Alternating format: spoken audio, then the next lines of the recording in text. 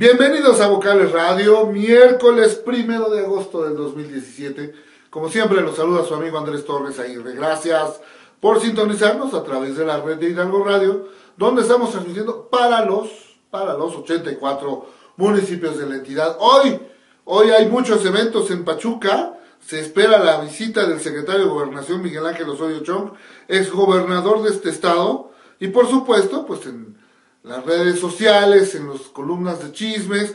Eh, hay un montón de especulaciones al respecto. Una de ellas dice, en el transcurso del día se espera la presencia del secretario de Gobernación Miguel Ángel Osorio Chong en tierras pachuqueñas. El exmandatario hidalguense que ha cobrado fuerza debido a la carrera a la candidatura presidencial del PRI, pues en la cual encabeza las eh, preferencias, visita su tierra natal en un momento clave para sus aspiraciones, pues en estos días la cúpula priista definirá el método de selección de su abanderado rumbo a la elección del 2018 que está a la vuelta de la esquina y las vocales radio ya están al aire.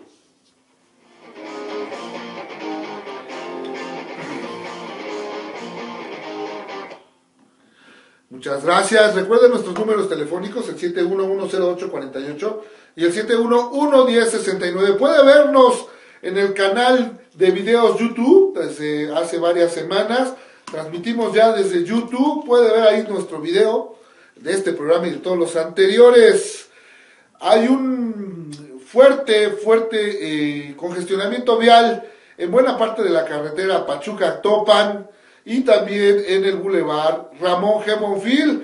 A la altura del sindicato, de la sección 15 del Sindicato Nacional de Trabajadores de la Educación, porque hace unos minutos, y bueno, desde ayer se abrió el periodo en el cual los profesores pueden hacer uso de eh, sus ahorros, de lo que eh, durante el año ahorraron en esta caja que eh, pues es uno de los servicios que ofrece la sección 15 del CENTE. Hace unos momentos hablamos con el secretario general de la sección 15, Luis Enrique, y sí, el secretario general de la sección 15, y nos confirmaba que ayer solamente más de 1.600 maestros hicieron uso de este beneficio y hoy, bueno, ya están formados sobre el bulevar. Decenas, decenas, yo le diría cientos de profesores esperando que empiece eh, a trabajar pues la oficina correspondiente, pero pues los vehículos, los familiares que los están esperando generan un congestionamiento, un caos vial en el bulevar Ramón Gebofil aquí al sur de la capital hidalguense. Bueno, vamos a otros temas. En la línea telefónica, le agradezco de veras en el alma porque es coordinador de la bancada del Partido de Encuentro Social allá en San Lázaro, es un diputado federal hidalguense, pero tiene un montón de trabajo y, entre las muchas cosas que está eh, impulsando, preparando, pues ha sido este tema del fuero. Le agradezco a don Alejandro González Murillo que nos tome la llamada esta, esta mañana. Señor, ¿cómo está? Me da muchísimo gusto saludarlo.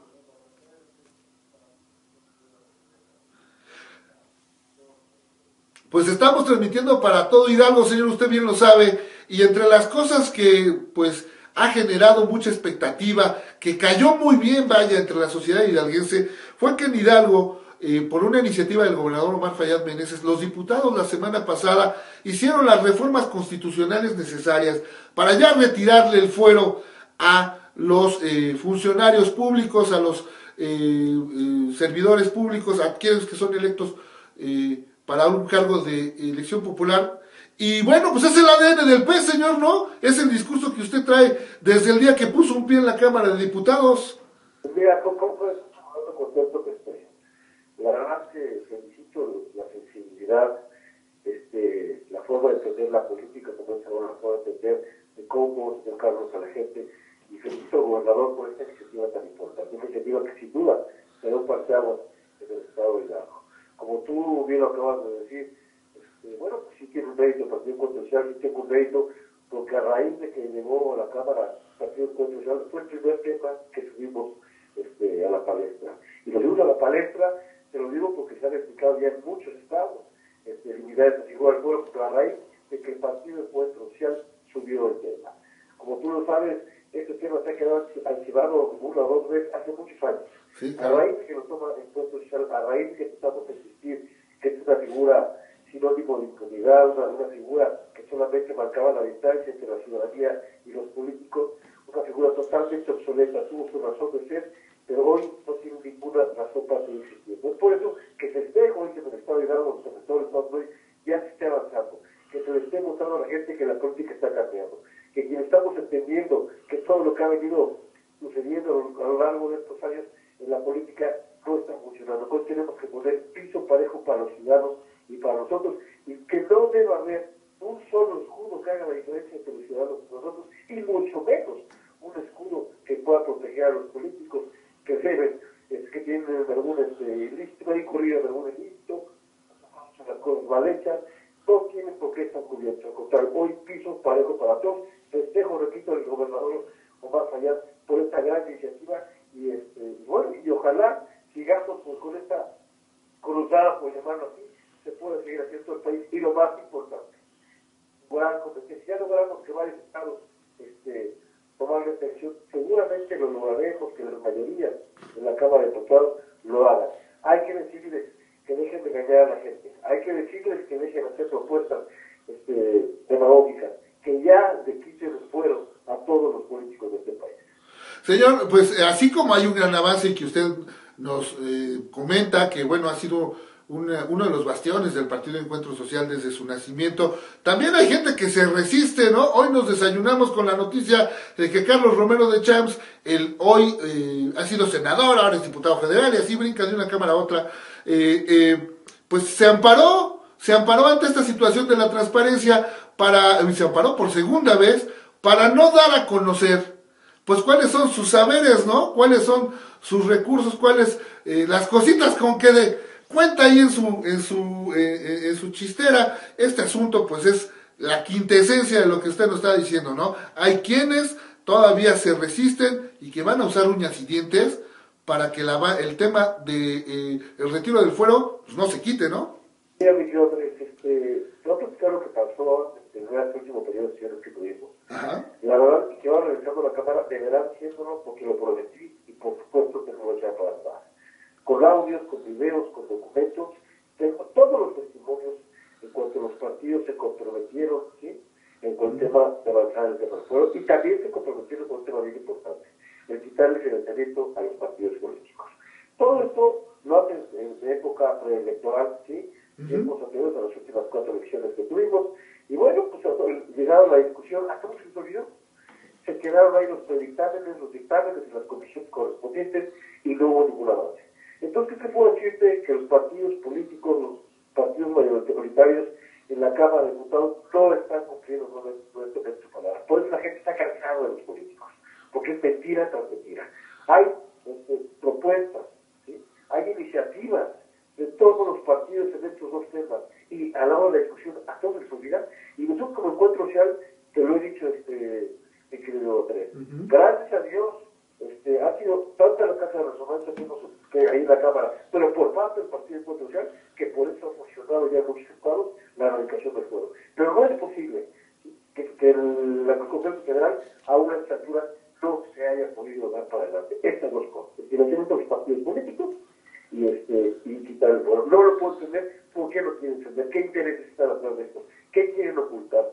Yo te puedo decir una cosa, no puede haber otra cosa más que estar ocultando o protegiendo a sus iguales en la Cámara de Diputados, como lo acabo de decir, esta figura no tiene razón de existir. Se- señor, eh, hablando ya de otra cosa, hablando del trabajo del Partido Encuentro Social, pues el 2018 es un año electoral, vamos a tener eh, en todo el país elecciones de, bueno, de renovar la, la presidencia de la República, pero en Hidalgo vamos a tener elecciones a diputados locales, a diputados federales y a senadores. Desde ahora, señor, en los análisis, en todos estos escenarios, en estos, estos panoramas que se publican en diferentes columnas, Alejandro González Murillo aparece como un activo de su partido buscando, en este caso, la senaduría. ¿Está en su horizonte, señor, participar en las próximas elecciones?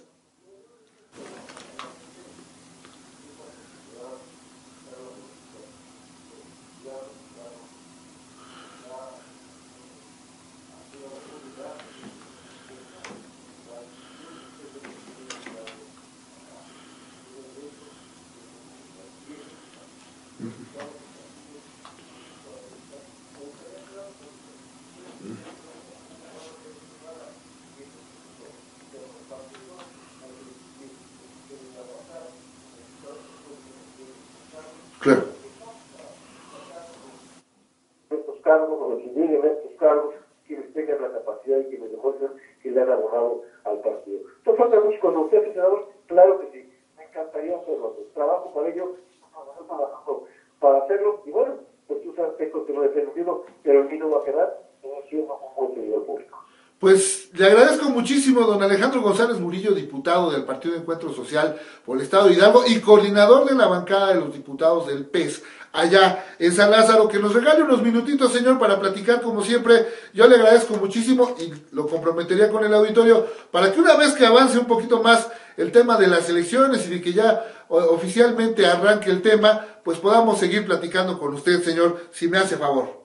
Yo te lo agradezco y sabes que siempre estoy a tus órdenes. Saludos a todos, por favor. Muy buen día, don Alejandro González Murillo, diputado federal por el PES, y seguimos en las vocales radio.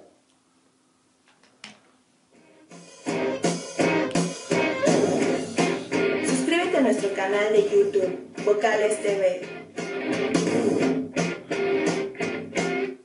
Y ya nos corrigieron la plana, el evento de Estrategia Hidalgo Seguro se pospone hasta nuevo aviso y en él se preveía la asistencia del secretario de Gobernación, Miguel Ángel Osorio. De antemano, gracias por su atención. Este es el mensaje que nos mandan eh, para decirnos que no, que no hay evento, que no viene Miguel Osorio. Y bueno, pues hasta ayer muy noche todo estaba confirmado y hoy por la mañana, pues mire con lo que me amanezco para que vea que a cualquiera, a cualquiera se le va. Así que está confirmado, no viene hoy el secretario de Gobernación, Miguel Ángel Osorio Chong, ex gobernador de este estado, y tampoco se llevará a efecto este evento que se denominaría Estrategia Hidalgo Seguro. Y bueno, ya estamos casi sobre el tiempo.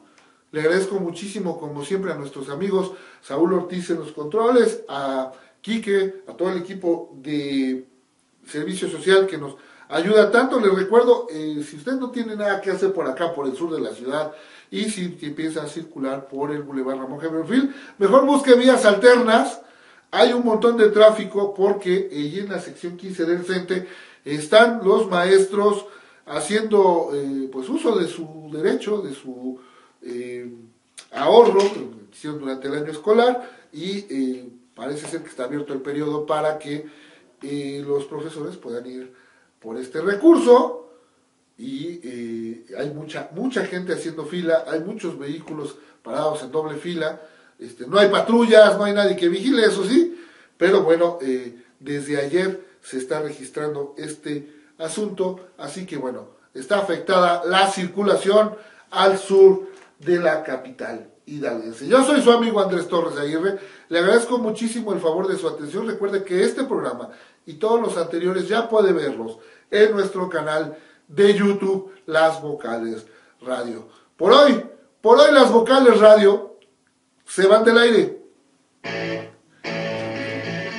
Mañana tenemos más vocales. Escúchanos, 8.30 de la mañana por la red de Hidalgo Radio.